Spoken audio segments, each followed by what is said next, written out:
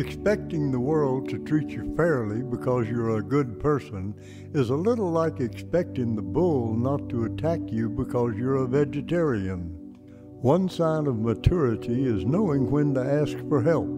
I had gone through life thinking that I was better than everyone else and at the same time being afraid of everyone. I was afraid of me. Depression occurs when you are not being yourself. When we don't enjoy what we do, we only nick the surface of our potential.